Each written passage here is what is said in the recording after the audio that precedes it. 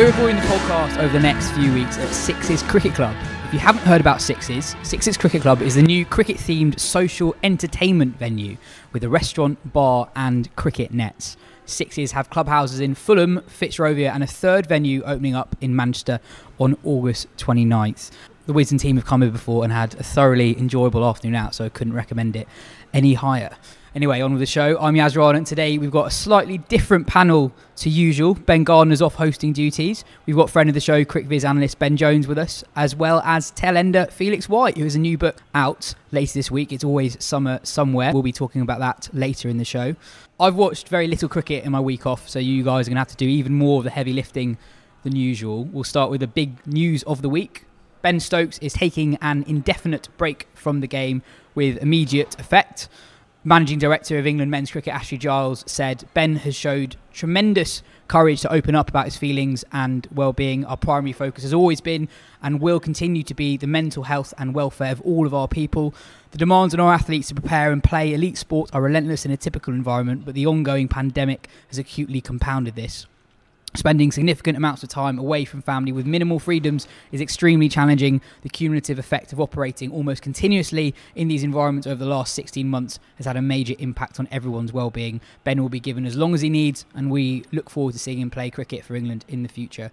Ben, Giles alludes to the challenges of the last 16 months in that statement, but with a schedule that awaits England's all format players and the schedules they've had for the last 16 months, this is almost inevitable. Yeah, well, because it was interesting because this, this news broke just after the pod. We recorded the pod last week, and on that show we discussed the fact that the IPL had been uh, scheduled for five or six days after the England Test finish, and then to finish two days before the T20 World Cup starts. Like no, nothing, nothing gets cancelled these days. Everything gets postponed, pushed down the line. And you know, we we know these environments are unsustainable, but basically they've been like, they'll in a way, they'll sort of have all the noises about you know players can say when they're feeling, you know, when they're not feeling great, and they can. Uh, uh, you know, that be as understanding as possible. Uh, but the actual things that could properly make a difference to you know how long these players are going to be able to play for and and that sort of thing is the is just playing less cricket and that's not what's what's happening or what's going to happen. So yeah, it was inevitable, uh, but it is, it is it is good that Stokes has been able to feel that he can say this and can drop out on the eve of a, of a big series. That that is a, a, a step forward, I suppose. But it's the causes of it are uh, I don't think going to get fixed anytime soon. I think. Mm. In, in a statement, Giles said, Our primary focus has always been and will continue to be the mental health and welfare of all our people. And I kind of agree with you. If that really was the case, you wouldn't schedule quite as much cricket as it has been. I remember particularly that South Africa series last year, um, kind of squeeze in off the IPL before a really long tour to Asia. Kind of felt like slightly unnecessary. Um, Felix, you're obviously close to one member of the England squad. Um, do, you, do you think the public have that accurate an understanding of just how hard it is living in bubbles, team environments, well, etc. in time of COVID? It's an interesting point, and I, I, actually think maybe they do. I think the response that I've seen everywhere has been like 100% forgiving of the situation, and I think that's uh, that would be very different, for example, from what happened with Michael Yardy even or Trescothick even a few years ago. So I think actually, I think people, I think the public generally do. I haven't heard one voice saying things you would have done a few years ago, like he's bottled it or whatever, all that kind of stuff. So they pro- possibly do. Um, I don't know if that's how. I haven't actually read the statement of what it, what he said. Is it is it a family thing, or he wants to be at home, or? It, it, I think it was un, uh, uh, unspecific. I think it said to prioritise his mental well-being, but and they, and they all spoke of him wanting to uh, rest his left finger, which I think has, inju- has recovered as it would like after being broken. And I guess those two things can feed into each other. I guess if you are feeling a bit like if, if you're mentally not 100% for whatever reason, and, and you're also then not fully confident in your body's ability, then that's two things that are going to affect, like, th- those two things can feed into each other, I guess. Yeah, I thought that was quite an interesting angle to it all. Um, because you don't want to speculate too much on what's going on behind the scenes. But I saw a few people, no, as, as Felix said, very few people were critical of Stokes' decision. But I saw a few people maybe questioning the fact that they'd almost thrown in the idea of his finger being injured as well to like just double things down a little bit to be like, well, he's not feeling great and he's a little bit injured. But I think you're right, is that actually for a professional athlete, your uh, your mental health is linked intrinsically to your body and to how you can perform and do your job. And we all know what it's like in any walk of life professionally. If you're not at your peak doing your job, then that creates knock-on effects. And yeah, they are they are clearly linked. So getting Stokes back physically well is obviously tied to getting him back mentally ready to go and go and play cricket when, whenever for whoever, wherever in the world, and whether that's while the pandemic's ongoing and we're still living in bubbles, or whether it's after that. Maybe he won't feel that he's comfortable coming back into that environment until things have changed. And personally, I I can understand that completely. I've not had to do any bubbling, and I know people who have speak about it very differently to those who are looking from the outside. Yeah. And whilst there is clearly that public uh, affection for Stokes and kind of trust that he's he's not bottling it, and there's an understanding about mental health that I think we've all gained and improved upon in the last few years. It's quite hard to. It, I, I think it's it's quite a nice reflection of where English cricket is that uh, we're, we're okay to say, yeah, our best player, just go and take your time go and take that time away. And sometimes it takes these big events for us to realize how far we've come in terms of the conversation. We can all, you know, hypothetically witter on about, well, you know, we're all doing, we're all much more understanding. But like, yeah, Ben Stokes decided he doesn't want to play for England for a summer, and everyone's gone, yeah, that's that's all right, that's mm. fine. You and do I, that. And I know you guys talked about it on last week's show about the, the possibility of players pulling out the Ashes, but I, I was speaking to someone last week who was in a bubble, um, and it really a, it's really difficult, but I, I, don't think I really understood how difficult it is now that society is actually opening up. Last summer, when no one could do anything, I think it was slightly less taxing in a way that it is now when you come out and you know you come out for a couple of weeks and everyone's you know everyone's kind of gone back to their normal lives. Being stuck there, not being able to see your family for such a long time is just really really difficult. I think we all feel a bit like that as well. It's like it's a different challenge, not nothing to do with cricket, but like when it was you know we're all in this together and everyone's doing the same thing all over the world. It feel it feels one thing and it's a different challenge when you're seeing different people in different situations acting differently. So yeah, hopefully gets back to full fitness and full mental well-being as soon as possible from a cricket point of view. But also, I'm glad that he feels able to take take that decision and take I, as long as he needs. I think that's the point that Ben's made there. I've I've had it just completely non-cricket related where now we've come out of lockdown, even if I've gone to see friends or been playing like really low level club cricket, when I'm walking around the corner, I think, oh, I don't think I want to do this actually. Like, I don't want to be here. And there's something in your body, like from the sort of traumatized year and a half we've had, that's telling you that. When I've turned up and said it to people, everyone's like, I'm exactly the same. And so if you put on top of that, playing for England in test matches, I think the general consensus will be that everyone completely understands. 100%. Ben, from a cricketing point of view, the test series does start this week. Ben Stokes' absence is, is enormous for the for the series. How, how, firstly, how, how do you think England will go about trying to replace Stokes in the eleven? Well, there is just one thing on that that I think is linked to the discussion of how the ECB have handled that and just overall uh, how they look after their players, I suppose, which is that they deserve credit for how they've handled the Stoke situation. But in well, in an ideal world, there'd be no pandemic. Uh, but in a in a slightly more ideal world, it would be just Moeen Ali coming in and playing number seven as the you know the, the, the world class rounder that he is. And I think if you just and the fact that you know England are depleted to this extent, where you know Woakes and Stokes are both out, Moeen Ali is fit, playing well in the hundred, uh, but is not in that squad. I think it, that speaks quite a lot of.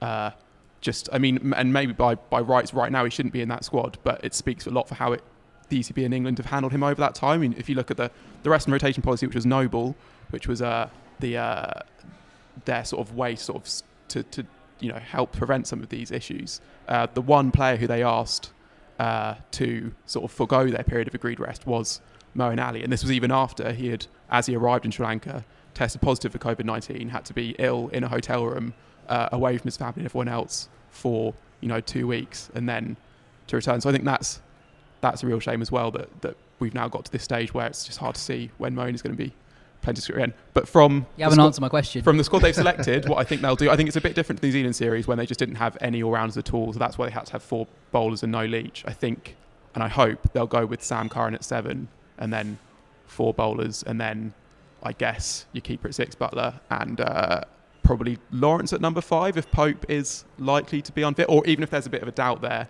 they're close enough that I think they, that would be enough to Ed Lawrence ahead. I guess is that is that the way you go, Ben? Yeah, I, I think so.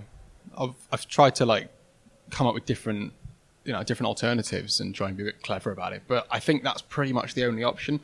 Is Curran at Curran at seven, Buttler at six, and then four bowlers. You probably it probably um, impresses Bonding on the importance of picking Ollie Robinson as a number eight who can really bat. Because I think if Chris Woakes was fit and available, he'd slot in perfect. Um, But obviously, the the Robinson debacle over the last few months, I think the ECB have just about dealt with it well enough that they can pick Robinson straight out the gate. They don't need to ease him back in. I think they can just pick him in the first test, and that's important. And then from there, I think I think we saw against New Zealand the issues with not picking a spinner. Personally, I think that England are able should be able to do it a bit more often given English conditions, and it shouldn't be a taboo idea not picking a specialist spinner at home. But I think given the given the current situation and given the, the, the batting fragility, I think you need to have as many different points to your attack as possible. So I think Leach Leach drops in, and then it's a case of resting and rotating, to, to use the phrase, um, the rest of the seamers. And I, and, and I think uh, ideally you want you want Mark Wood probably playing just to give something different to the attack. I'm not Wood's biggest advocate as a red ball bowler at home, but if you're going to have Robinson and Curran and Anderson, you probably don't need a, like a fourth Overton style bowler. You need, you might need something, just a point of difference to go alongside Leach, the spinner. I, th- I think that there is a stage as well, like because England will be tempted, I think, to go down there because especially Stokes is more of a loss on the batting side than on the bowling side. So Without doubt, yeah. We'll, we'll be tempted to strengthen the the batting department and then rely on that route uh, Lawrence for that uh, that spinner role. But I think it's time that Jack, Jack Leach like deserves some reward basically for all the good work he's done in Test cricket. I mean, he is a, a very good Test match bowler who's had a very good start to his his Test career. Uh, like the last time he played a home Test, he bowled England to a an Ashes levelling victory, and that was now nearly two years ago. It's crazy thing that that's. I mean, there's, there's that's been his last Test match. Yeah, last, last home match in England. last yeah. home Test match was yeah that Oval Test match against the Aussies. Wow, 2019. So I was going to ask, what's happened with Jack? Like, is is he the frontline spinner still in terms of everyone's thinking. I think it, I think last summer it was a case of them investing in Bess and wanting to sure, yeah, make yeah. him as good a version of the cricketer that he is as possible. So having him bat at eight, helping balance out the side, recognizing that that was going to be an issue going forward, particularly with rotating and stuff. But I don't think anyone in the right mind thinks that Jack Leach isn't a better bowler than uh, sure. than, Yeah, than I- Bess. He's, he's so clearly the the superior option. Whether Parkinson might even be a Well, better option is a different him. conversation. Uh, I think, I think last summer when Bess did okay, and then Stokes left uh, to go to New Zealand, one test into the Pakistan series, and I think to Yeah. balance the side out, it was quite hard to take Bess out because of his batting. Um, I just sometimes I just feel with Leach he just doesn't get enough credit for what he does really well. So Yeah, yeah. bowling Australia out in the last day of a Ashes Test match. No, not many people do that. Decent. Yeah. yeah. Decent. Uh, had a really good winter in India, obviously. Um, but also, like even when he took a six for against Surrey in the county championship a few weeks ago, it's like I was going to say that was internet goes crazy. wasn't it? Yeah. Everyone goes crazy when Ashwin does it the next day, but Yeah, Leach right. did even better the day before. Yeah. There is probably Um, a technical argument that Leach is a better bowler in helpful conditions, um, and that's I, I don't think that's not to you know to criticise him. He- He's a fantastic bowler in helpful conditions because he's so methodical and he's so accurate, and he just doesn't bowl any bad balls. But he doesn't do a tremendous amount through the air. He does most of his work off the pitch, and that was, I think, why they were so keen on Bess was because, particularly with a view to Australia, that actually you need to do things through the air. You need a bit of drift, a bit of dip, and Leach is a bit more. He'll do you off the pitch. I think they'll be encouraged by the fact that the weather's been so outrageously hot that actually English pitches, they've talked about wanting to prepare for the Ashes and create these hard batting friendly tracks. That might actually suit Leach a bit better because if it's going to break up, it's going to spin a little bit more. There's a bit more of an opportunity for him to, to come to the party. But I mean, I, I just think that England, given the situation they're in and the fact that they're going to be without Woakes, they're going to be without Archer, they're going to be without Stone, their group of seamers is depleted. So you need to be relying on a spinner to play throughout. So I think going in with the New Zealand balance of four seamers and, and Root being the spinner, I think that would be, you know, going up a dark alley. I think this is also an Indian team that's not, uh, in a way, that's got the stereotypical strengths of an, of an Indian batting lineup. Where actually, I think a lot of them are better against pace and against spin. And Leach had he almost had the wood over Pujara in that series. I think he got got him out more than any other spinner has in the series. I think so. I think he at Ben. averages like 11 against him. Yeah, Love and, it. and, and, and if you and you know Get him if- in. yeah, Go just for that. Well, but genuinely, I mean, if, if you can get Xavier Pujara- Doherty style. if you can get Pujara early, that is a huge inroad into that batsman because they they bat around him to more than any other team bats around one batter in world cricket. I think really. Uh, so yeah, I think that that's another reason why a specialist spinner and probably Leach is, is a must. I think. All the all the right handers as well. Um, Yeah, exactly. I just quickly, just like listening to you guys talk, it's made me realise I I think this is the summer that I thought as little about the Test series coming up Yeah. as any summer in English cricket. Just even hearing you guys talk about that, I've realised that I don't even know what the England team is, and it feels like I haven't even heard a conversation about what this Test team is going to be next week up in the run into this. Is has that struck any of you? Like, like there's I saw some. I saw. I think it was Lawrence Booth uh, tweeted about it, saying that it, this feels like the most it, the, a test series that snuck up on us Yeah, more yeah, than any yeah. other. I think that's partly, most obviously, to do with the hundred because that's clearly a big event that is happening that is distracting everyone. Sure. But I think it's also due to this. There was that false start to the summer with the Test series against New Zealand, where it was like, well, Right. it's not the full strength team. Yeah, yeah, So yeah. it's like, well, if Stokes isn't there, Buttler's not there, Murray's not there, Woakes. So it's like it felt a bit like we're kind of getting through that, and then it was the World Test Championship, and it's like yeah, right. into the hundred. So I, th- I think I, I think it's definitely something I've felt. I mean, from a professional point of view, I've had to do quite a lot of work over the weekend that I probably should have done about ten days ago because it's suddenly been like, oh Christ, yeah, that's ne- that's next Yeah. week, So which is not something you normally think about. Like I think first Yeah. test of the in a normal test summer, there's more momentum. I mean, the, the New Zealand series was literally two months ago. Um, there's normally not that kind of gap between test series. Uh, the World Test Championship was was ages ago as well.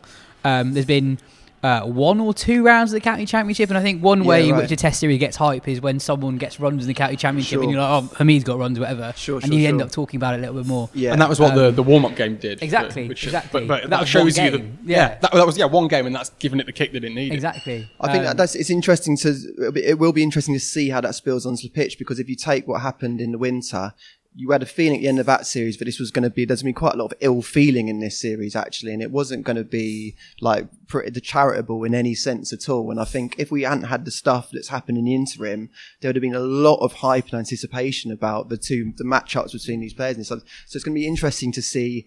If that's carried through, do you know what I mean? Whether they pick that back up again. It's also, I think, partly because maybe it's those key markers that we look for in terms of kickstarting a, the hype for a series. But like India have been here for ages. Yeah. they've Yeah, been in like you know they've been watching the watching Wimbledon, been at the Euros. like they've been doing the full Yeah. like old style test tour Yeah, where they've been away from home for a long time. Oh, and so, Byron- but like that thing of like seeing like Virat Kohli has landed in England. That was ages ago. That's that's not a thing, and that's so. I think all the all those little cues. But I, yeah, I think I think you're right. That that there was that sense in, in the winter of like these two sides. It's not they they really hate each other or anything. I don't think there's that kind of level of animosity. But like that was a, a it was a grubby series that felt a bit. It felt a bit rough. I loved it. It was great, really entertaining. But like it felt like the kind of thing where it's like, well, we'll get you back to England. We're gonna do you. And actually, it was like, well. Suddenly, we're like, oh yeah, it's that, is it? We're remembering the narratives in a way that normally we spend two months building up to them. And Yeah, and I think the other interesting point is that everyone, when it got announced, we're going to do back-to-back series. We, we were all saying that's going to just we're going to be so bored of it by the by the time they come to England. But I don't think that's going to be the case. Yeah, maybe at all. I don't think there is going to be any element of like we had those back-to-back Ashes and it was just done by the by the second return tour. I think what I mean, maybe we, this is moving on to the next bit, but I think what could uh, kind of bring back that ill feeling is that I think England could really take a pasting in this series. Right, yeah. I think this could be a bit of a watershed moment for English Test cricket because India are in really good shape. They've not played a lot of cricket, but like they're a really they're a really really good side, and ba- they're basically the same side that came in 2018 and got no luck for an entire summer. And England were quite good then. England have got a lot worse, and India have probably got a bit better and you can't see Sam Curran having the series that he had. You can't see conditions being quite the same as they had in 2018. You had that extreme seam seam movement. It was like the most ever recorded in England. We're not going to have that again because that was a bit of a freak. We're going to see the ball swing probably. This batch of Duke seemed to be swinging a bit more than seaming. So the conditions are going to be a bit different. But I think what we let, us not beat about the bush. India are really good and England are not very good. In, England can't really bat and India have a lot of very, very good bowlers. Just because ja, uh, Jadeja and Ashwin are bowling you know, a Trent Bridge rather than in Chennai, they're still going to be a real handful. And I think I, I, if I was if I was England, the Stokes dropping it out dropping out has tipped it for me. I thought England would have won three two. Maybe two one with a couple of draws or whatever if Stokes had played, but he's the the guy that balances the side and he's their best batsman. You take that out, I think England, I, I think England are in a really worrying place. Not not not to like be overly emotional about it, but I just mean like from a practical point of view, you look at it and you're like, I can't see how they compete. Yeah, the, the only thing I'd say to that is obviously the Indian batting lineup is full of massive names, but there are a lot of guys in there who haven't actually got that many runs in, in, in the last two years. You know, kind of Pant Sharma aside, really, no one's really been consistent. And then, you know, we'll see what the pitch is like. But if it does swing quite a lot, you'd back Robinson, Broad, Anderson, Wood, Overton to make life quite difficult for them. So I think it could be a Oh, really yeah, low scoring series. But then what about Sha- Shami, Siraj, Yeah, exactly, Bumrah yeah. against you know a bunch of English English batsmen who are out of nick and haven't made a run for ages? I think Woakes missing the first two tests is huge. With, if with Stokes not there, I think he he he could be the kind of guy who could could possibly make up for for Stokes' a- absence. but- Especially the Lord's Test, where he Yeah. averages something like 60 with the bat and under 20 with the ball. The psychological hold. Yeah. that- We talk about Curran having that from 2018, Yeah. but like, yeah, that that Woakes game, yeah, just get him back there. They should Uh, just, they should they should make him fit, make him be fit for that. Just you know, weekend at Bernie's style. Just get him out there. I think a weird amount depends on Rory Burns from an English point of view for this series, in that like Root obviously is the one that you look at that line and think like he's the one that's got to have a huge series, but his home record in basically last since he took the captaincy or just the summer after the captaincy is just not. It's not. It's not elite. Basically, he averaged about thirty, whereas his, his away averaged about fifty in that time. So that's the big drop off. Whereas Burns is, so he's had a bit of an up and down time, but he looks now kind of in as about as good a form as he's, or at least before the big break, had a, looked as uh, his form was as good as it kind of ever been. And he's always, but he's always been that player who kind of gets 80s pretty consistently, like, but but, but doesn't like. Yeah, e- even for Surrey, he wasn't like getting hundreds all the time. He was like getting a thousand runs a season, averaging about 40, but doing that by like consistently getting pitch. Whereas this series, I think he needs to, if he can dominate and he, ha- he, has the skill to, and he's like he's got the form to. If, if he can ha- have a huge series, and that's obviously huge for England and for him as well, because he's what going to turn 31 during the series, and is uh like you don't. It's obviously lost form a few times, been has lost his place and been close to losing his place before. I don't think you get too many more chances. This is kind of a, a huge summer for him, I think. I'm, I'm not going to be. I'm, I'm, I'm going to say something which I I already slightly regret, but um, it's my catchphrase. I think. Um, but given how the next six months could go, the next eight months could go, it's not out of the question that England need a new Test captain in January, and the captain of Surrey for the last five years, who's probably the most secure batsman in the side. Might suddenly look like quite an appealing option. I know this, there was a bit of murmuring around that a while ago, but I feel like last it's time gone, I said that, he then went on a run, but when he got well, then, from well, I- well, I- you don't say it, and I'll say it, and I'll take responsibility. But I think that's that's not out of the question. That actually, if he, I, personally, I don't think he'll make any runs in Australia. But if he does well this summer in conditions which are familiar to him, I, I can see him sudden, suddenly that that narrative starts to take place, and we all get a Hmm. little bit excited because if Root doesn't make runs, you know, Can I ask another question?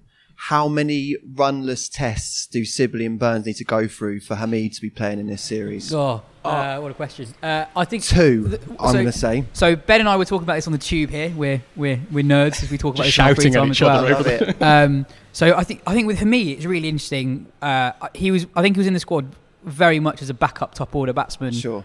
I do think the hundred against India changes things when the man who's currently number three, Zak Crawley, uh, has really struggled in red ball cricket, not just for England but also for Kent in the county championship. Um, he's got quite a big sample size of first class cricket.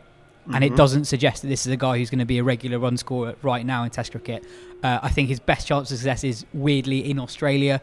I do think if he has a really difficult series, then he becomes unpickable for the Australia series. Sure. So I think it's a really big question as to but change your question slightly. How many tests does Crawley not need to get many runs? Where you start do you- do you- for you to then say, let's get Hameed in at three, a position which he has struggled in when he had his really difficult year at Lancashire. Oh, he He batted batted three, three, for a lot of it and really, really struggled. when he knows dive. and he yeah. has basically had no success in his career at number three. So then asking someone who's had uh, a really weird, difficult career, he's still only 24, to ask him to bat against Yeah. that India attack in England at number three, I'm not sure that's that fair either. But then who the hell else is there if Crawley But to answer out? to, to actually answer Felix's question, how many runless tests? I don't think. I think Burns it would be five, six. I don't think Sure. he's, he's not getting dropped. But if Sibley has two ropey tests, Yeah. just the nature of being an opener against that Indian attack, you can be exposed four times very quickly, Yeah. and it, you can be all of a sudden in all sorts. And I think at that point, Hameed becomes a really compelling option, particularly because of the rhythm. I know that Hameed's not as much of a blocker as people made him out to be when he first came through, but like you bring him through as like a he's essentially playing the similar role of the guy who's just going to see off the new ball. I think that's that's probably his route into the side. But yeah, I mean, one of, we were saying on the tube the idea that Crawley part of the reason why he's being given so much rope is because no one else wants to bat three. Literally, no one else in England is a number three apart from James Bracey. They brought him in, and he was seemingly a laughing stock for playing you know two tests against the world number one attack, and he struggled. Guess what? He's a good player, but and I hope he comes back at some point. But I think that's that's the issue is that the most obvious route into the side is number three. Right. Get Hameed in there. We'd all like to see him, but do you want to be yeah triggering a guy who really struggled in that role and has clearly had a quite a roller coaster over the last two years? Yeah, I think one thing with Sibley is that for, he has slightly he has less credit in the bank than Burns, but also if he does struggle he'll kind of look so bad while struggling that people Right, then yeah. end up drawing Yeah. sort of conclusions around that. They'll be like, oh, he's never going to score runs with this technique, which is true even when he does score runs. That's what it looks like, but Sure. he somehow does. Uh, I personally would pick Hameed at three for the first test. I think the the, the Crawley thing. I think I think it, I think this this is a symptom actually of the disjointed summer that we've talked about because at the end of that test series against New Zealand, he was unselectable. Like his feet were going nowhere. He was like he was like he wa- wasn't playing. Sorry, with it's any- Crawley. Crawley, yeah. yeah. He, he wasn't. Is that what I said? It's not like you to criticise Crawley. Yeah, well, that's the thing. But, but but like he, he he was like playing with like absolutely no conviction, and it looked it looked as much meant as it did technical, but neither looked hugely good. And like all that's happened since then is that time has passed. Really, he's got like a, a few runs in white ball cricket, doesn't have a, any red ball runs to speak of. Like there's there's no reason really to think that like that those issues have, have disappeared. Like all that's like maybe England will give him one test because like maybe it is just a, a bit of time away and some white runs that he needed, and, and they, they really like him, and I can see why. Maybe that is what they'll do. But I personally, because I think Hameed is more likely to make runs in the first test than Crawley is, so that's Yeah. why I pick Hameed. Basically. What do you think Keep- about keep- Hameed at three, g- given he's not really batted there, and when he has batted there, he has struggled? Yeah, I, I don't think his struggles were because he was batting at three. I think he was just in awful form. I, I think, yeah, I, I mean, and as much as it's difficult, it's tough to ask him to do that, I can see also from like a team balance point of view that that is then a, a top three, all of whom sort of take their time to get set, and you can easily end up at T, sort of like if uh, like like you know A hundred for two. exactly. or if you, if you lose all three, just put you're 100 for three, and then all of a sudden you're 185 at the end of the day, and actually you've batted all day, not got many runs, and then you're, you're, you're struggling a little bit. So I I can see that argument as well. Uh, but I, but I still, so yeah, I, I, I know it's not ideal, and I personally would have had Dawid Malan in this squad just to. Uh, I mean, I know he hasn't played a huge amount of red ball cricket, but I think that again, if you're looking at the guys most likely to make runs in that top order, I think it would have been him. Uh, but uh, with the squad they've got, that top three for me is the one that is going to most reliably be setting in the platform. I know exactly what you mean about that kind of one pace top three. That is, it is an issue in some respects, but I also think that everything works a, a hell of a lot better if Root's making runs and Root's in form because then suddenly the amplifying effect of that top three, yeah, fine, be hundred whatever for, t- for a T. Just make sure you get through, see the see the first forty overs off, and then we'll we'll let Root come in against the spinners and dominate. I, I did some. I'm writing something on Root at the moment, um, probably for you guys. Um, since the start of 2019 at home, Root averages 31 but specifically averages 12 against good length balls in that time. That's not very much. It's not very much. It's it's not as bad as it sounds, but it's it's really bad. I think what Root has really struggled with in the last few years is just keeping out good deliveries. If India bowl well, I'm not sure he's good enough in these conditions in his current iteration with his technique to to uh, to kind of to keep them out and to dominate. So the best thing you can do is just try and keep him away from the dangerous periods. And I spoke to a- a few people a while ago about when when there was a vacancy in the top order about opening the bat in whether or not do we push Root back up to the top. That's where he came through. And he said, if I and it was when, when he was batting four, and, and they said, well, if I was uh, if I was looking at Joe Root right now, I'd want to move him down, not moving up. And in a functioning England side right now, Joe Root bats number five because that's where he's he can be busy against the spinners. He's not having to face a swinging ball. He's not having to kind of negotiate those tough periods. So the benefit of having that stodgy top order is that you could get the best out of your now best batsman. And I don't think that I think that's a reasonable trade off. I, I, I'm ha- I'm happy to see slow, boring cricket for three hours if it then means we get to see a good Joe Root for a bit. So to be clear, you also want Hameed to bat at three in the first test. Yeah, I should probably say that as well, shouldn't I? Yeah, I think I probably would pick him. Sorry, Rob Key. I, I would pick him over Crawley. It would be an amazing story, though, Mm. as we talked about a couple of weeks ago. we just all want it to Um, happen, don't we? It's that thing of just like we talk about it for long enough and we're like, yeah, we're all going to pick him, aren't we? We all want it. Yeah, but to be honest, like, I mean, I, I, I, obviously I want Hameed to have a long and fruitful test career, as everyone who has a brain wants. Uh, but like, like the, the, the, the, main hesitation for me is is the effect it could have on him. Could Like, finish him off. Yeah, po- possibly. And I mean, Mark Butcher actually said a really good thing on the pod last week, basically saying that like, look, this is Test cricket. It's hard. There's no perfect, easy time to make your Test debut, and that's not the point of of it. Like you, you, you, you pick your best team, and then if if they can't handle it, that's kind of that that tells you that tells you what you need to know essentially. And I kind of do buy that. But actually, I'm not. I'm not clamoring for Hameed because I want Hameed to play as soon as possible. Like in an ideal world, you would be letting him play this summer. I mean, not the Can Championship, but playing whatever's available, and then like letting him get properly back into form and be like have loads of runs under his belt. Uh, but needs must. I think. Making a ton against the Indian attack is probably the best preparation you could have, Exactly. given the cricket he's been allowed to play. Yeah. Um, series predictions, Felix. Start Oh, with you I'm first. just suddenly really excited about the whole thing. I There haven't we thought about it at all until this conversation. I just realised I'm buzzing about it. um, what do I think is going to happen? Um, I well, I can't predicting that. I can't predict anything other than England win. Can I? Given my relationship with uh, England's greatest ever fast bowler, 5 0 then.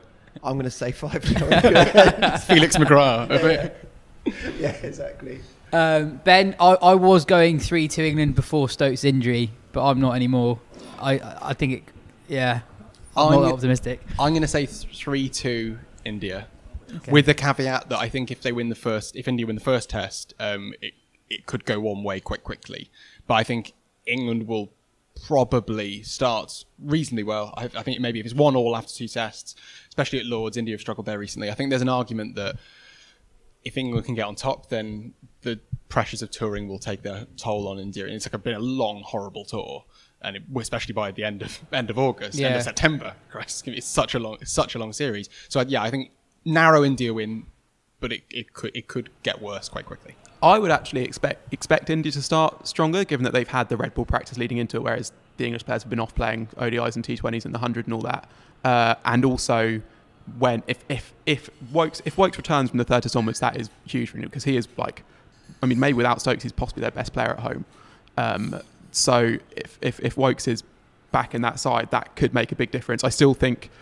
I'll go two all, I guess, just to, to make it. Um, Where's the draw coming from? The, the one thing we also say is that I don't think there's been a top six bat in the summer in England that have been so defined, have such uh, responsibilities and roles, like really clear roles as the Indian top six. And I think we haven't seen a test team like that for a very long time, actually, bat in England. So just for that alone, how we deal with them and just seeing them bat every week, I think it's going to be a really beautiful thing Yeah, because we don't get that often, do we? When teams tour, there's always three and four not the truth batting here, da, da, da. but they're so set in stone, aren't they? And they're so different in what they mm. add to the side, I think. And they're already just like legends of the game. So I Yeah. think just them being in front of us every week is just something to really look forward to. It reminds me a little bit. You're talking about Alia, how grooved they are and how kind of they know all know their roles, and obviously a few injury doubts, but basically they all know what they're going to do. It reminds me a bit of you know when Australia had that period where they only ever lost very, very, very occasionally at home, like last 15 years. But actually, if you looked at when the world number one visited Australia, they normally won. So it was like when England went out there in 10 11, when South Africa went out there a few years later. When good sides went to Australia, they won. And whilst we talk about England's record at home, they've not always played, th- th- rarely have sides been arriving at the right time in a cycle. And we've seen that New Zealand arrive at the right time in a cycle and they batter England. You know, if you can batter someone 1 0, but they did. I think India are maybe at that point where like they are just everyone knows their role. There's a, the selection debates are the selection debates they have every single time. It's like, do we pick Siraj or Ishant? You know, do we go Jadeja at seven? They know everything about their team. It's just whether or not the individual players can can you know define the legacy by standing up on this occasion, which I I, I think they will. I think I think they're too good for England. the, the, the one thing that I uh, that I would say just from a, uh, a hope if, if you're a hopeful English fan listening to this and getting a bit downbeat, the one thing is is that Jasprit Bumrah's form has not been as all conquering as it was before. He had a I think it was a back injury at one stage, and he's come back from that and not been quite the same force. Now you know that that could be temporary. This might be the the series that gets him back into it, but that's a little something to cling on to that maybe there are just like that, that there are there are although you can look at the names in that Indian lineup and you're right it's it's it's, it's almost akin to when it was like a you know Sehwag, Dravid, It Tendulkar, reads like that, Laxman, doesn't it? yeah uh, that, but there are just slight chinks that you can just cling on to and just hope that it's not going to be a an absolute thrashing Kohli's not got many in a while. um, before we uh, go on the show, a quick word for one of our sponsors, Pants and. Uh. As I'm sure you can guess, pantsandsocks.com sells sells men's underwear. It stocks all the leading designer brands from Calvin Klein to Hugo Boss from Ralph Lauren to Ted Baker. And more importantly, the site is currently offering 25% off all orders, as well as free delivery on orders over £40. So if you're listening to this wearing saggy, slightly faded underwear, get yourself to pantsandsocks.com and treat yourself to some fresh, well-fitting designer underwear. Chocolate oranges are available at Rawlinson's. I'm always struck by how well you deliver those adverts, Yes. It's because I really believe in them. Yeah. it's a real joy to see it in the flesh. Personally, I'm I'm I'm genuinely astonished that we just went from talking about Rishabh Pant and you didn't make a, li- a, link, a link there. That's that's a, that's damning. Um, anyway, the, the 100 rages on. I'll kind of run through what's happened the last few days since the last um, show. There was an absolute thriller at Lords last night. Tymal Mills and Chris Jordan clawing Southern Brave back into a game that seemed lost against London Spirit at Lords. Elsewhere in the men's comp, the kids did the business for Birmingham Phoenix against the Trent Rockets. Kiwi Finn Allen blasted a 23 ball 43. And then 19 year old Somerset batsman Will Smeed hit a 13 ball 36 which is pretty cool. Uh, the Oval Invincibles are no longer invincible. They succumb to a lovely little innings from Harry Brook, who's enjoying somewhat of a breakout summer in white ball cricket. He's the leading run scorer in the men's competition so far. Joe Clark was the star of the show in Manchester's win over Welsh Fire, and James Vince hit 60 in a tight run chase for the Southern Brave against Birmingham. In the women's comp, Southern Brave are the only side with a 100% record. Amanda Jade Wellington took 4 for 14 against London Spirit in a very straightforward victory at Lords. Heather Graham blasted a quick fire 44 in a win for Trent Rockets over Birmingham. The Superchargers squeezed home by four runs against Oval. 16 year old Alice Capsey took 2 for 9 off the 20 balls to go with a half century early in the competition. Uh, and there were half centuries from Hayley Matthews and Danni Wyatt in wins for the Welsh Fire and Southern Brave. Um, ben, your moment of the week is from the 100? Yeah, it was from um, Southern Braves win last night, or, or what? I can't remember. Was it last night? Yes, last night. Yeah, it, every it's on every day. Who knows? Um, but it was from uh, from the final knockings of that innings as, as, Southern managed to somehow squeeze it. You know, invoking the spirit of Middlesex for letting spirit collapse around them. But Tymal Mills managing to basically single-handedly win a game, bowling the penultimate over or penultimate set um, of the game, um, and then allowing Chris Jordan to come in and, and, take all the glory by defending 11 off the last over. Um, I just think it, it's exactly what Tymal Mills needs to get into the England World Cup side. I, I tweeted it at the time, but like Tymal Mills just single-handedly won a game against Eoin Morgan in a white ball contest, bowling at the death, improbably securing victory. If he doesn't get in the squad now, he's never going to get in the squad. I just think that the way he's going about his business in this tournament, I'm a big fan of his anyway, and so I probably didn't need much persuading.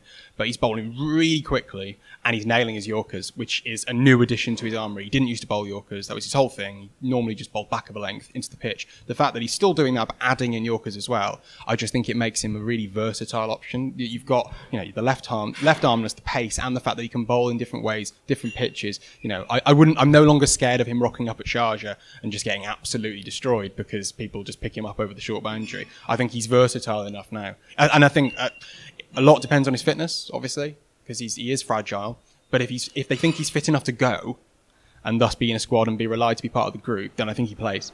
I think it's just interesting that because obviously that was alongside Chris Jordan, who is the uh, I guess may, maybe maybe not in a squad, but in the eleven, the most likely player to miss out. And then if, if you're missing out of the eleven, then you're building a squad, and it's such a small squad, it's a difficult thing to do. And I think that because we, we, also in, in, that game Chris Jordan offer that was a, a, brilliant run out that he did, and I think he brings so much to the uh, uh, just to the group as sort of like a leader in that thing. I mean, we, we, I was discussing a piece with uh, actually with Cameron Ponsonby, who's been doing a bit of work with us recently, uh, and he, we, we almost wanted to headline it like Chris Jordan Henderson for the uh, for the impact that Jordan Henderson had for England's like the England squad in the Euro yeah, 2020. Yeah. Uh, That's lovely. because of because Chris because Chris Jordan can bring that, and that is an important thing in a in a global tournament. So that is the I do think that if you're picking a, an 11 based on uh, on form. Chris George, uh, Tymal Mills gets into it, but there, there, are these other considerations, Particularly the context in which this tournament's going to be played. Like the group environment is massive. you don't. I'm, i personally would still take Jordan, like regardless of whether I think he's in. I don't think he's in the first choice eleven, but because uh, I think Tymal should be. But Jordan offers so much and covers enough bases as well. And yeah, like I say, he's, he's literally the best T20 fielder in the world by like every metric. like, why would you, you know, if you can take an expanded squad, you know, there's room for a Jordan. Felix, we've had, we've had quite a few questions about the 100. People are still obviously talking about it, especially on, on Twitter. Um, Nick Look Beale, fear just Nick Beale asks, just what are your impressions of what's worked well and not worked well in the 100 so far? How have you um, enjoyed the um, competition? So well, far? yeah, I don't know. I'm slightly cross eyed by just all the conversation about whether it's good or bad, to be honest, as we all are. But I was at the. Um, I was at the first game, the women's game, and I was really struck. I was in the crowd and I was really struck by the fact it was not an atmosphere I'd experienced at cricket before, other than the Women's World Cup final at Lords, which isn't a coincidence. And I really, it, like in that ground, in that moment, I was really into it. I really understood it. I really felt um, like it was a really comfortable, lovely atmosphere. And I, I feel like we are missing that in cricket games actually a little bit. And just seeing loads of young girls celebrating and really engaged in the cricket I was I was really excited about it, and the next day from home I watched the men's game, and I, f- I felt like it kind of worked. I felt like I under having like been slightly semi mocking about it in the build up. I thought the way that you read the runs and wickets and stuff like that, I did understand how that can be a little bit more computable, and especially with my girlfriend as well. We were watching some of the women's games at home. It was very interesting to see how she engages with the women's games in a different way than when she's watched all the men's cricket with me, where she just glazes over. She was actually asking like, "Oh, what's happening here?" and she was sort of getting into the game in a different way. So I think just for that reason alone, I think that's good enough that it's really worked in one sense for hundred. I like most short form cricket. By now, I don't know what's going on anymore. I haven't been paying enough attention to, but it's the same with T20 cricket. Like, apart from a World Cup, sort of lose track of who's winning and who's losing. And I think everyone's a little bit like that probably from the outside. I think there isn't that focus on like what are the standings in the groups and all that No, kind of thing. what does Southern Brave need to do to qualify? I don't Yeah. think anyone is other than like really inside the world are, are, that fussed about that.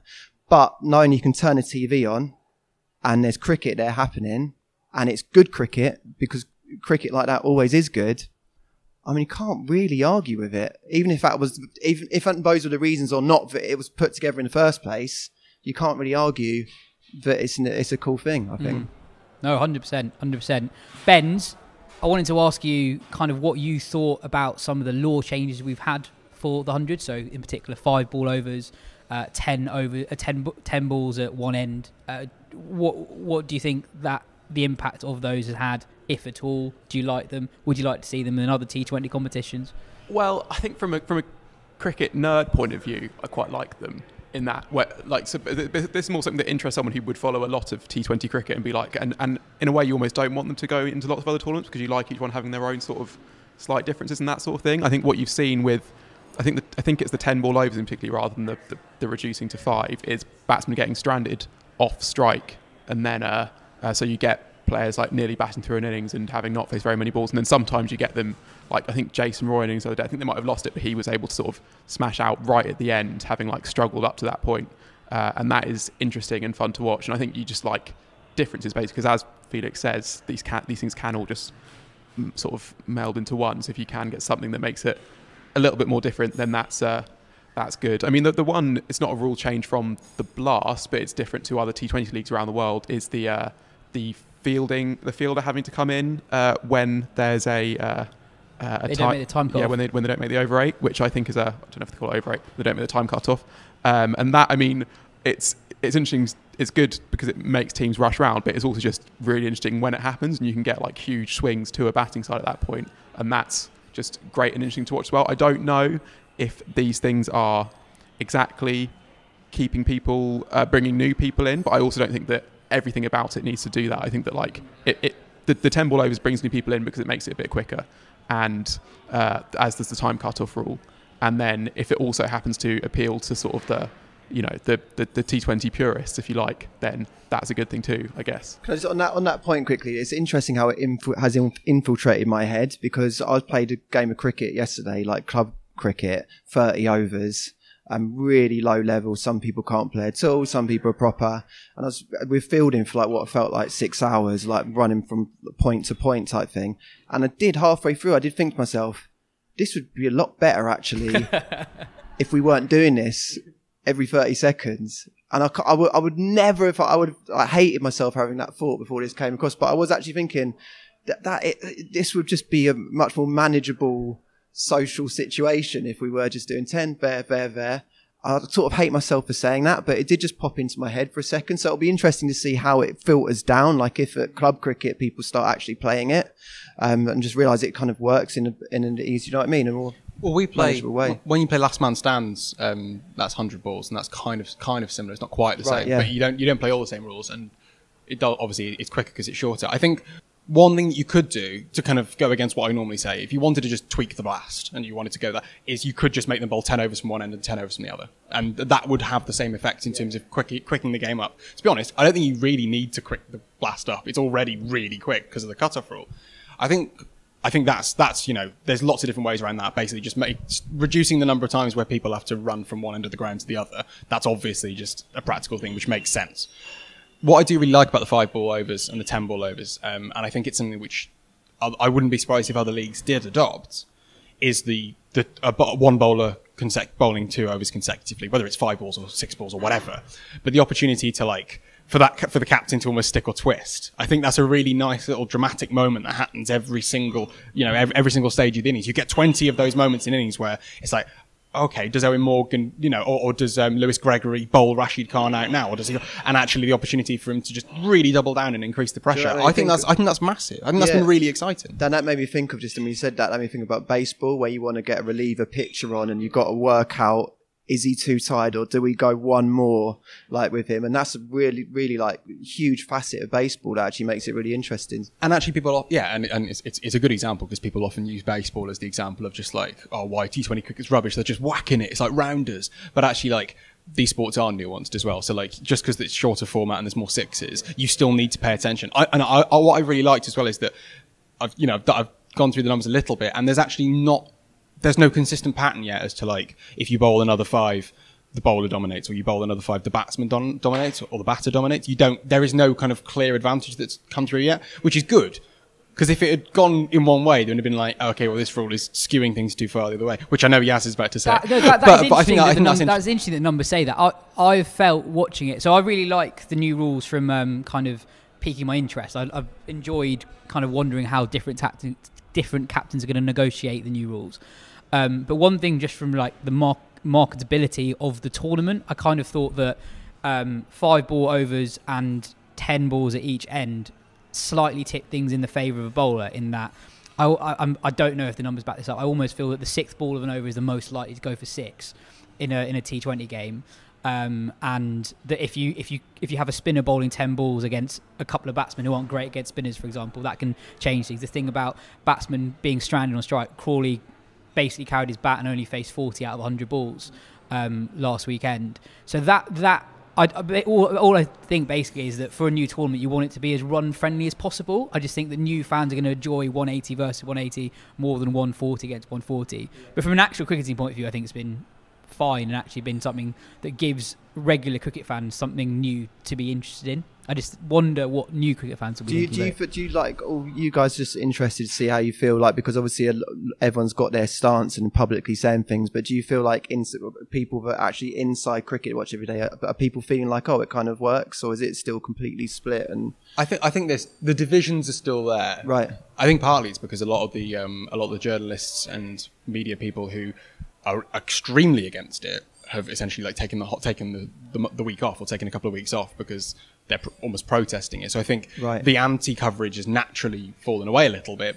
And I don't think that's necessarily because the feeling's fallen away. I think Yeah, it's the, I think it's just yeah. because practically these people aren't on the desk. But I also think that it was it's it's obviously just so much easier to get people on board with really good cricket matches than it is with the idea of really good cricket matches. Sure. We're like, oh yeah, it's going to be really good. Sunil Narayan's going to be bowling to such and such, and it's going to be amazing. And it's, there's going to be full crowds, and it's going to be you know mums and kids, and it's really it's going to be really fun and a different vibe and a different feel.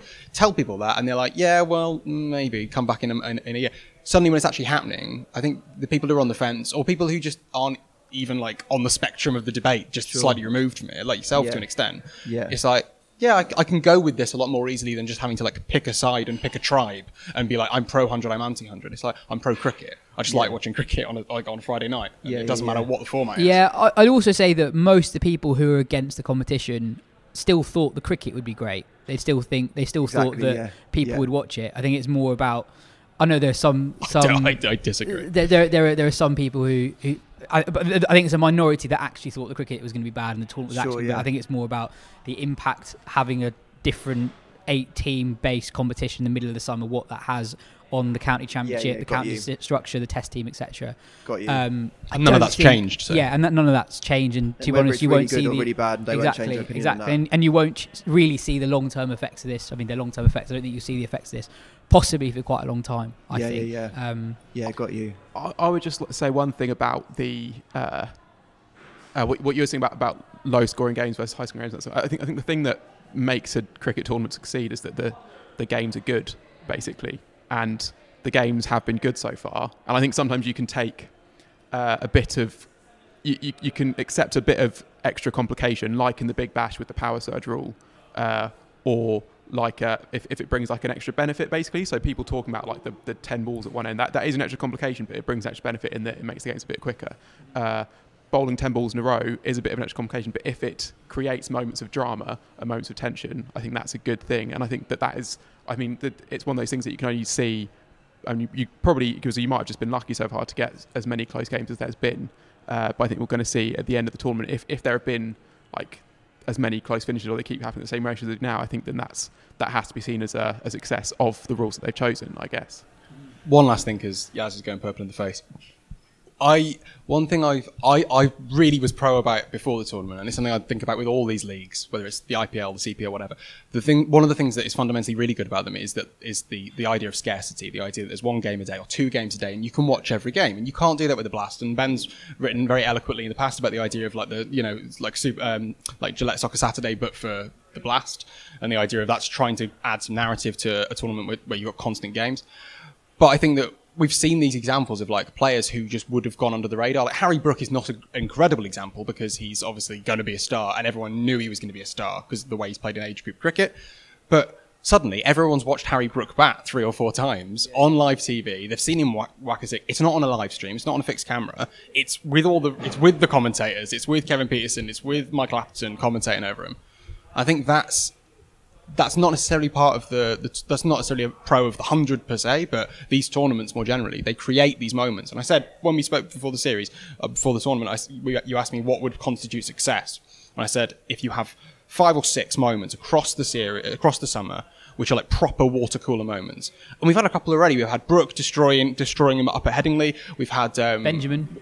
Benjamin, like on yeah, within the first couple of Capsey. days. Capsey was a, is a great example. Uh, Rodrigues. We've also had the Hales versus Stokes thing. That was such that, that could have that could that game could have happened in the Blast, no question. You know, not so you know pretty good at T20 cricket, but it didn't happen as the only game that was on a Monday night where everyone's tuning in. You don't get that.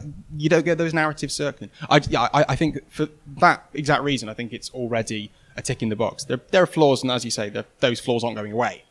But I think it's delivered on what it promised to, um, probably in a positive and negative sense.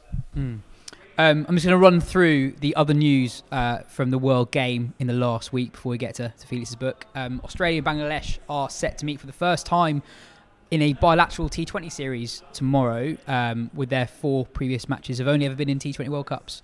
In the Royal London One Day Cup, Nick Gubbin scored 131 and then took 4 for 38 with his part time leg spin, having only ever taken one professional wicket before for Hampshire against Sussex. Ben, what's your moment of the week? Uh, my, my moment of the week, uh, it was a, a weird moment because with press releases from Sri Lanka, they always take like kind of a while to sort of come into your inbox. Often they go into your spam and you see like someone tweet, but sometimes it's like you're trying to work out if it's like genuinely true or not. And there's a lot of reports that circulate this kind of thing. So I sort of, sort of saw some tweets and was like, no, that can't be true. And then went and like looked through my spam folder and was like, saw the research. Oh, that is true. So the, uh, the th- three cricketers who sort of broke the biosecure protocols, that's Danushka uh, Gunatilaka, Niroshan Dickwella and Kusal Mendis on their tour of England have been banned for a year from uh, from playing international cricket and with another year suspended. Uh, which is which is, I mean when you consider It's a bit harsh, isn't it? I mean when you consider the sort of the furore and the out the uproar uh, uh, the uproar and the outrage that was at Jofra Archer sort of going home for 20 minutes during the, the test last time and he and he missed a test match Yeah. and that was the outcome of that to miss a whole year that is absolutely enormous that's that's like What is it? All crickets? uh, yeah, so, so They're also banned they've from been banned all from domestic cricket. cricket for six months and from international cricket for a year. Yeah, it's It's, almost it's the definition amazing. of draconian, isn't yeah, it? It's just like it's like, and I mean, It's I just a bit harsh, isn't it? it is, it is a bit harsh. Yeah, that's that's a good way to put it. Yeah, I mean that you know, for, there's there, are there going to be two World Cups in that time, or at least one. Uh, it's, it's yeah, not not good for Sri Lanka's chances as well when they when they kind of need all the players they can get. Uh, I mean, because I was t- talking to someone who had a, a Sri Lankan overseas pro at their club uh, this summer, and they were sort of like saying like, "You must be pretty close to just getting an emergency call up at this point."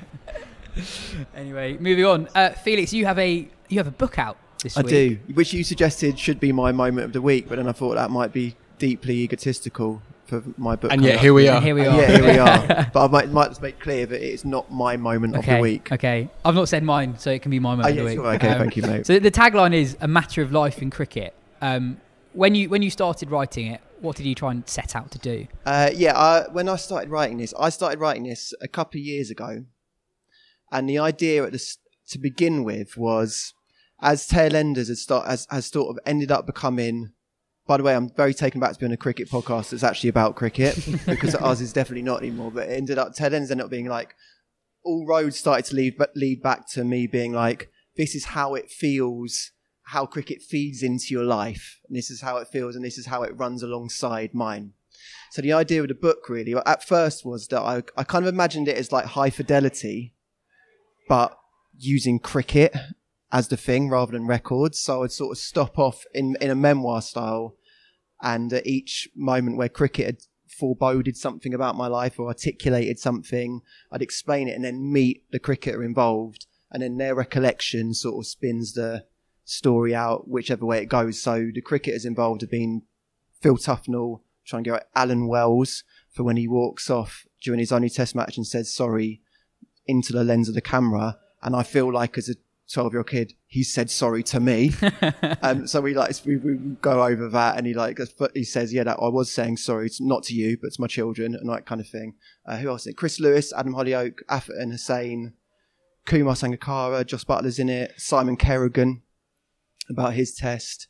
Loads of cricket. I've, I've missed some as well. But so basically, I'm stopping at each moment and uh, yeah, sort of using it as a parallel to whatever's going on in my life at that time. So it started that way, and then um, as I got into it, basically, I just realised, as probably most people do when they start writing memoir style things, but it couldn't be completely flippant, and it had I had to go properly in. So it ended up becoming basically about my mum's illness and death when I was 17 and how I've found ways to process the loss and then the repressed grief since. And so a lot of it was about how, how why do we put love into the places we do? And it's sort of it kind of led back to the fact that it, I think it was very fortunate for me growing up in the 90s, but England lost all the time. And so, for a lot of men at that age, to watch these alpha males processing their own loss constantly, I found some sort of comfort and familiarity in, in it. And then, obviously, as, as, things change, my life slightly changes. And then, when England win the Ashes in Australia, eventually, I remember feeling completely sickened by it and really angry because I felt like we had a deal where England lost. I felt communal hurt in it so I had like loads of inexplicable feelings at the time of like being like, no, no, no, no, no, no, no, that's not a deal we have, and being angry at people that were celebrating it.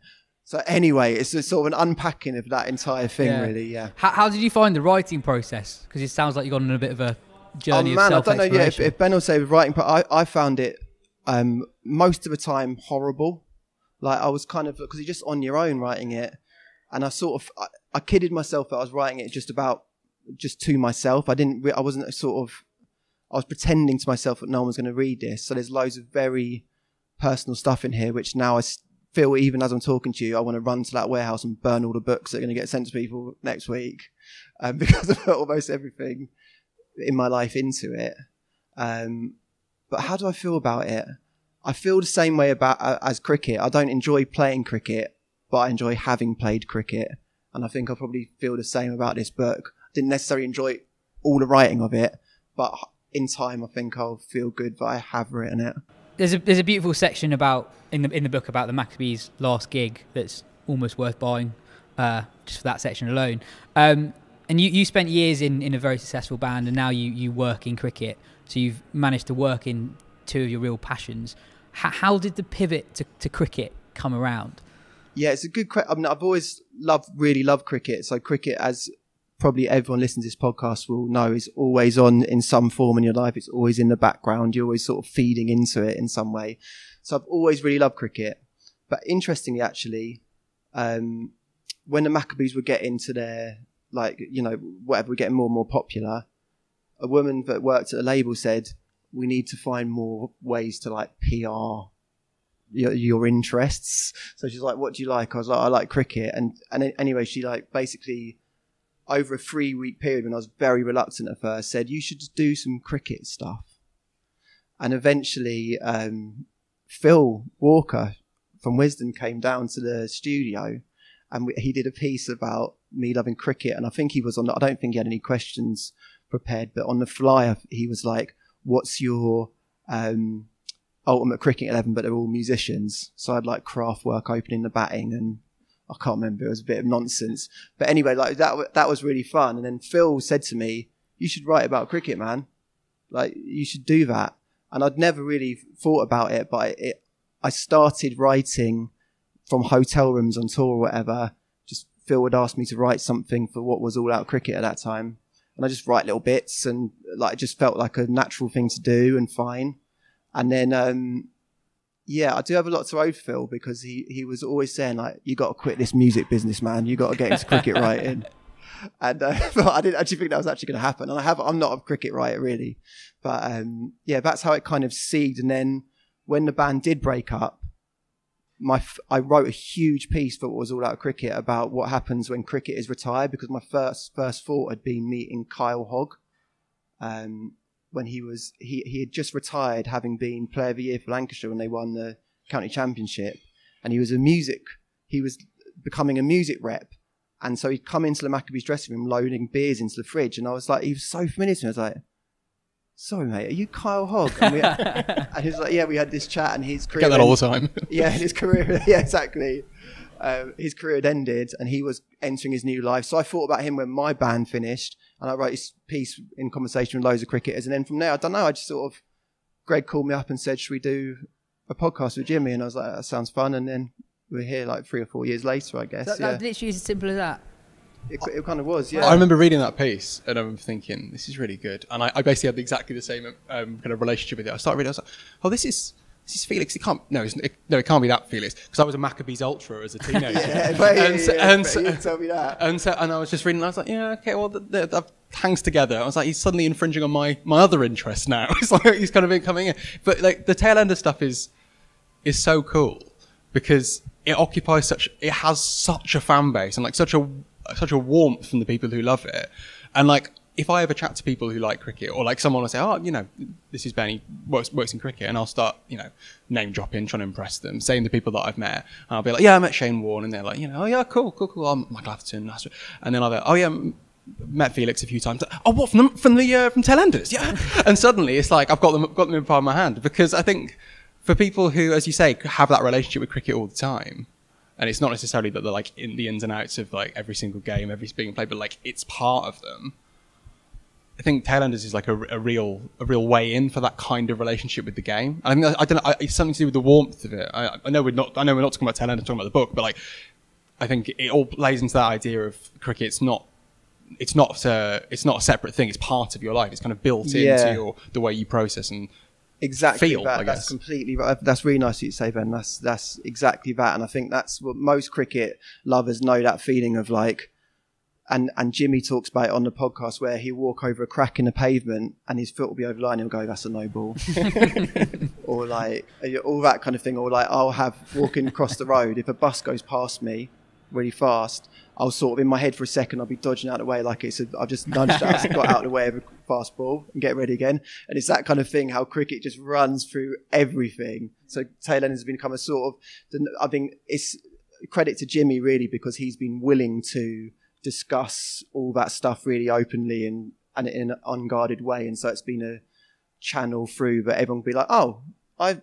I do exactly what Jimmy Anderson does, you know, and that's quite a nice sort of link between the two things. I think. Yeah. Yeah, I think- my, my weird cricket thing is whenever a bus goes past and I, I great chat. request, um, when I when I ask the bus to stop, I always say no ball.